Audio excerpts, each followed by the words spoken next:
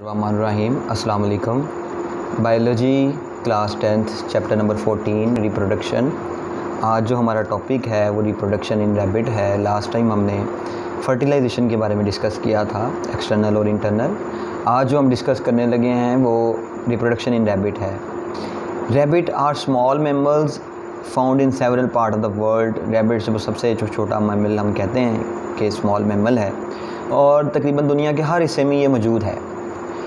इस रैबिट को as a experimental purpose के लिए भी इस्तेमाल किया जाता है। मतलब अगर मैमल्स पर रिसर्च करनी हो तो रैबिट का इस्तेमाल किया जाता है और इस पर एक्सपेरिमेंट किए जाते हैं एज अ रिसर्च पर्पज़ अब हम जो रैबिट के बारे में डिस्कस करेंगे male rabbit reproductive male rabbit के रिप्रोडक्टिव ऑर्गन के बारे में और फीमेल रैबिट के रिप्रोडक्टिव ऑर्गन के बारे में डिस्कस करेंगे।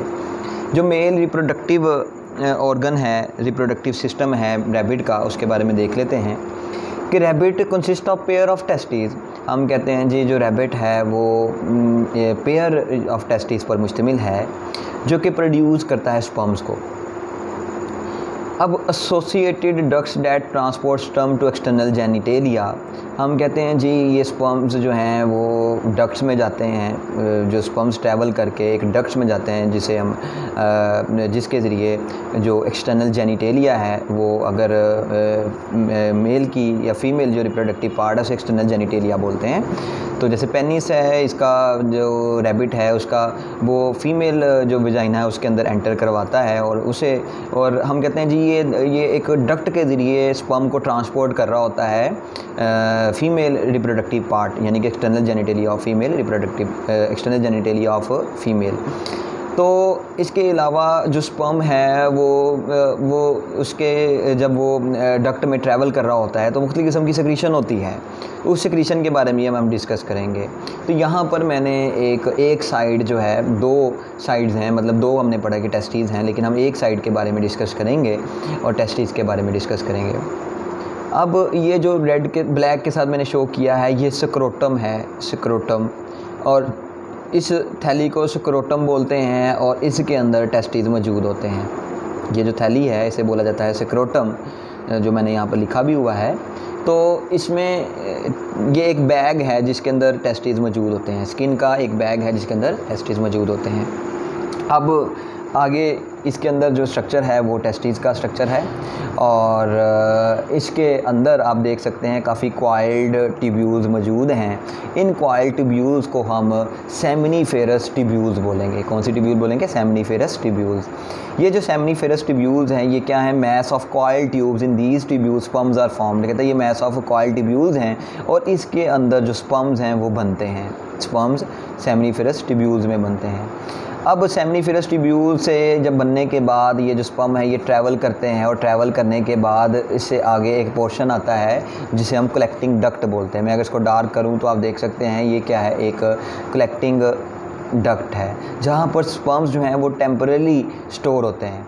आप लगा लें कि जो जो स्पम हैं, बनने के बाद सेमनीफिलस ट्यूब्यूल्स में वो ट्रैवल करते हैं और मचोर जो है वो इमचोर आकर कलेक्टिंग डक्ट में स्टोर होते हैं और आहिस्ता आहिस्ता मचोर हो रहे होते हैं। हम कहते हैं यहाँ पर मचोर स्पम्स एक्यूमुलेट इन जो collecting duct of testis collecting duct of testis के अंदर यहाँ पर जो मचोर स्पम हैं वो एकुमलेट होते हैं। मतलब यहाँ से सेमनीफिलस से स्पम निकले और बनकर और आहिस्ता आहिस्ता इमचोर स्पम मचोर में चेंज हो जाते हैं और कलेक्टिंग डक्ट में आकर मुकम्मल तौर पर मचोर हो जाते हैं और यहाँ पर टेम्परली स्टोर होते हैं।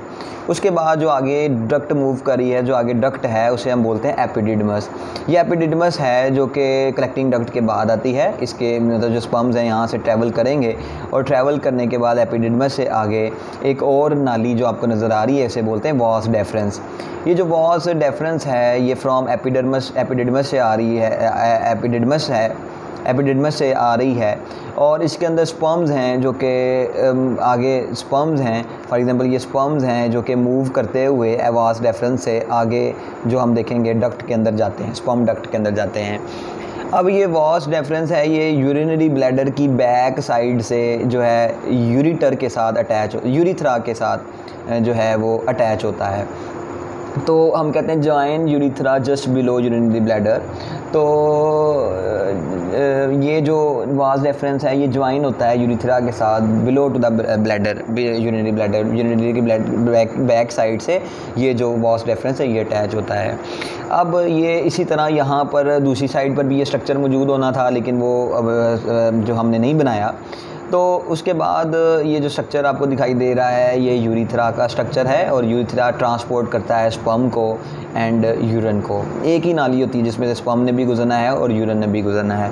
अच्छा जी, अब ये जो स्पम है मच्योर होने के बाद ये आगे जब एजैकुलेशन का प्रोसेस होता है तो ये स्पम्स यहाँ पर पहुँचते हैं। यहाँ पर पहुँचते हैं तो यहाँ पर कुछ ग्लैंड होते हैं यूरिथ्रा के बिल्कुल साथ। जिन, इन ग्लैंड को बोलेंगे प्रोस्टेट ग्लैंड ये जो प्रोस्टेट ग्लैंड्स हैं, ये produce secretion that neutralise the acidity of the fluid जो स्पम है, उसमें जो यूरिन की वजह से एसिडिटी होती है, उसको न्यूट्रलाइज करने के लिए प्रोस्टेट ग्लैंड कुछ सक्रीशन करते हैं ताकि इस जो स्पम है उसको किसी किस्म की का नुकसान ना हो और एसिडिटी को रिड्यूस किया जाए और न्यूट्रलाइज किया जाए। अब इसके आगे एक और ग्लैंड है जिन्हें हम बोलते हैं सेमिनी सैम, सेमिनल वेसिकल्स जो सेमिनल वेसिकल्स हैं ये वेसिकल्स ग्लैंड हैं ये सिक्रीशन करते हैं प्रोवाइड न्यूट्रिशन फॉर स्पम्स ये स्पम्स को न्यूट्रिएंट्स प्रोवाइड करते हैं ताकि वो जब फीमेल बॉडी के अंदर जाएँ तो इन्हें न्यूट्रिएंट्स मिल सकें और ये सर्वाइव कर सकें और एग तक सेल तक पहुँच सकें। एनर्जी हासिल करें और एग सेल तक पहुँच सकें। उसके बाद जो ग्लैंड आते हैं वो कॉपर्स ग्लैंड हैं। ये जो कॉपर्स ग्लैंड हैं ये produce secretion that lubricate the duct ये डक्ट के अंदर लुब्रिकेशन पैदा करते हैं ताकि किसी किस्म की जो जलन है वो ना हो पाए। ये जो यूरिथ्रा है ये मेल में पेनिस जो है उसके अंदर ये यूरिथ्रा मौजूद होती है। और ये पेनिस की मदद से यूरी ये जो फीमेल रिप्रोडक्टिव ट्रैक है उसके अंदर आ, ये जो स्पम हैं वो एंटर करवाए जाते हैं। तो ये जो स्ट्रक्चर हमने पढ़ा है, ये किसका है female sorry male reproductive organ of the rabbit इसके अलावा यहाँ पर सीमन के बारे में लिखा हुआ है कि सीमन क्या होता है। सीमन जो है, वो मटेरियल है जिसके अंदर स्पम और इसके अलावा फ्लूड होता है। आप लगा लें कि टेन परसेंट स्पम होते हैं और नाइन्टी परसेंट फ्लूड होता है। ये हमने जो टॉपिक डिस्कस किया रिप्रोडक्शन इन रैबिट यानी कि मेल रिप्रोडक्टिव सिस्टम के बारे में हमने डिस्कस किया है। अब जो आगे डिस्कस करने लगे हैं, वो फीमेल रिप्रोडक्टिव सिस्टम है। हम फीमेल रिप्रोडक्टिव सिस्टम के बारे में डिस्कस करेंगे। जो फीमेल रिप्रोडक्टिव सिस्टम है, ये ओवरीज़ और कुछ उसके साथ जो डक्ट्स हैं, उन पर मुश्तमिल होता है। ओवरीज़ एक स्मॉल ऑर्गन है, जो कि सिचुएटेड इन अबडोमिनल कैविटी जो कि पेट वाली साइड पर just ventral near the belly belly वाली साइड पर और बिल्कुल बेली के पीछे वाली साइड पर किडनी के आगे वाली साइड पर ओवरीज़ मौजूद होती हैं। Female rabbits have a pair of ovaries जो फीमेल रैबिट्स है, वो पेयर ऑफ़ ओवरीज पर मुश्तमिल है. Female rabbit pair of ovaries पर मुश्तमिल है. यानी कि दो ओवरीज इसके अंदर मौजूद होती हैं जहाँ पर एग सेल बनते हैं. अब इसको डिस्कस कर लेते हैं. यहाँ पर मैंने स्ट्रक्चर बनाया है फ़ीमेल रिप्रोडक्टिव सिस्टम अब ये जो स्ट्रक्चर है, ये ओवरी एक ओवरी यहाँ पर है और एक ओवरी यहाँ पर है। जगह कम होने की वजह से डायग्राम इतनी अच्छी नहीं बनी। लेकिन ये जो ओवरी है, इस ओवरी की बात करें, इसका जो आउटर रीजन है आउटर रीजन एग सेल को प्रोड्यूस करता है। ये एग सेल काफ़ी ज़्यादा जो एग सेल फोलिकल इसके फोलिकल सेल्स इसके इर्द गिर्द मौजूद होते हैं, जो इसे नोरिशमेंट प्रोवाइड करते हैं ताकि ये सर्वाइव कर सके।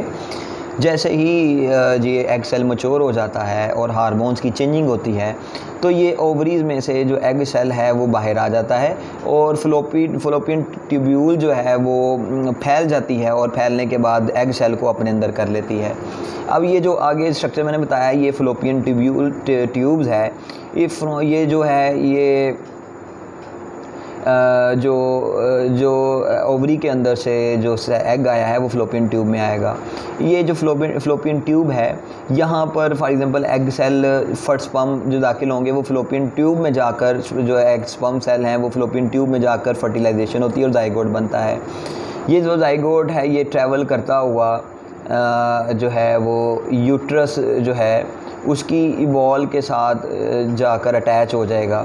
हम कहते हैं इसकी जो यूट्रस की वॉल के साथ अटैच हुआ है, जो एग सेल है, जो कि जाइगोड बन गया है, और इसके बाद एम्ब्रियो में चेंज हो गया है तो इसकी जो अटैचमेंट है, उसे हम बोलते हैं प्लेसेंटा जो अटैचमेंट साइड है, यानी कि कनेक्शन जो है बिटवीन जो यूट्रस वॉल और जो एम्ब्रियो है, उसे हम बोलते हैं प्लेसेंटा प्ले सेंटा इसके अलावा ये आपको जो स्ट्रक्चर दिखाई दे रहे हैं यूट्रस हॉर्न है और इसके अलावा ये जो पोर्शन है सर्विक्स है, जो कि सेपरेट कर रहा होता है बर्थ ना बर्थ कनाल को और स्पम बर्थ सेपरेट कर रहा होता बर्थ कनाल को, जहाँ पर स्पम जो है मेल के वो डिपॉजिट हो सकें। अब ये बाहर वाला जो स्ट्रक्चर है, ये यूरिथ्रा है और इसके अलावा जो स्ट्रक्चर है, वो बर्थ केनाल है। तो इसके अलावा अगर देखें तो fertilisation and development of rabbit में लिखा हुआ है कि rabbit can breed throughout the year वो तकरीबन सारा साल वो ब्रीड कर सकता है। लेकिन but male rabbit are commonly sterile during the summer month लेकिन अगर मेल रैबिट की बात करें तो वो स्टेराइल हो जाते हैं मतलब वो रिप्रोडक्शन करने के काबिल नहीं होते ड्यूरिंग द समर मंथ में, गर्मियों में, जो गर्मियों के दिन होते हैं मंथ होते हैं।